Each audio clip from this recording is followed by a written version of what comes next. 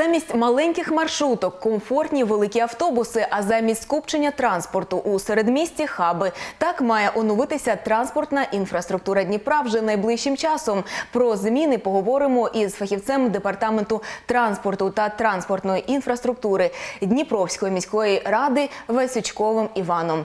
Вітаємо вас. Доброго.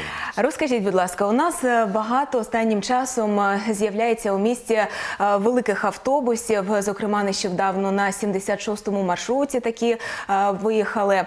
Скажіть, будь ласка, де найближчим часом, на яких маршрутах ми ще можемо це побачити? У кого купуємо цей транспорт? Скільки місто це обходиться? І можливо у лізинг беремо? Ну хочу сказати, що місто зовсім не витрачає жодної копійки. Це відбувається в основному завдяки перемовинам, які веде напряму і заступник міського голови Михайло Лисенко, і наш департамент. Е, Це великі інвестиції, треба розуміти, але все це приватні інвестиції. Станом на зараз вже проінвестовано у міський транспорт. Це великі автобуси, близько 150 мільйонів гривень протягом останнього півроку. Е, Найближчим часом ми очікуємо ще 80-100 великих автобусів вже цієї весни, які вийдуть також на автобусні маршрути міста. Це транспорт, е, е, де виробляється, у кого ми Це транспорт, який вже був в використанні в Європі, але саме тому, що він був в Європі, а не в Україні, на жаль, е, він знаходиться в досить непоганому стані. Тобто це транспорт, який вже пройшов там 400-500 тисяч кілометрів по Європі, якому там від е, 8 до 12-15 років, але він знаходиться в досить непоганому технічному стані, і санітарному стані, і нормальні салони, і все таке інше. Е, На яких маршрутах е, ще найближчим часом з'являться такі Ну, великі автобуси? Вже зараз ми можемо анонсувати, що з цієї неділі поїде по 62-му маршруту великі автобуси. Тобто замість спринтерів там вже будуть великі автобуси у кількості 8-10 одиниць і інтервалами близько 15 хвилин, але зараз і спринтери мають приблизно такий інтервал. Тобто загалом інтервали не збільшаться, а пас- пасажироміськість транспорту збільшиться. І останнім часом ми бачимо, що по місту стали курсувати автобуси жовтого кольору. Чому вирішили розфарбувати оцей колір транспорт? І які машини плануєте е, перефарбувати?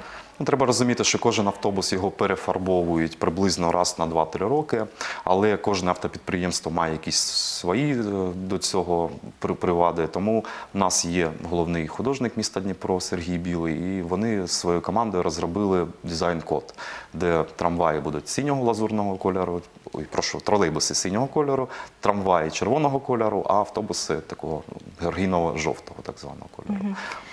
Не можу не запитати про болючі питання, які хвилюють городян.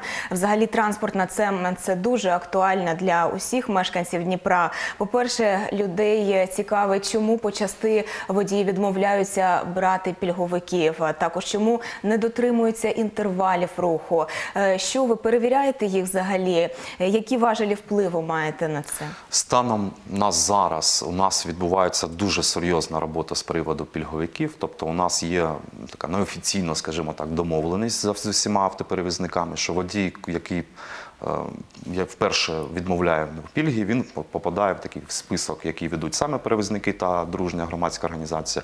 Якщо він попадається в вдруге, то ми не штрафуємо водія, ми не проводимо з ним ніяких бесід. Автопідприємство залишає полишає маршрут.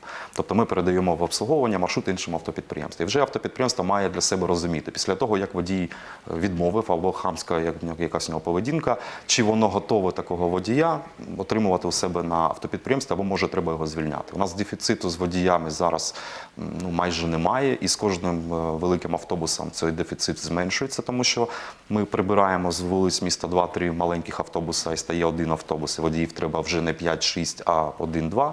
Тому треба, щоб вони конкурували і, скажімо так, виживали в цій професії найкращі, які не будуть хамити, відмовляти в пільгах.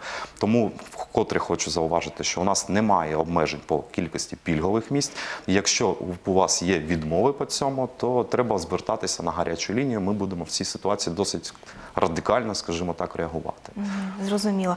Е, Скажіть, будь ласка, і ще дуже актуальна тема це впорядкування руху у центрі міста. Багато великого транспорту, скупчення, затори там виникають. Ви багато останнім часом кажете про хаби. Що це за проєкт і як він допоможе вирішити цю проблему у центрі? Е, Так, у нас зараз є в проєктах е, створити транспортний хаб у центрі міста. Тобто, якщо ми хочемо рухатись у бік нормальної, скажімо так, проєвропейської транспортної мережі, то нам потрібні хаби.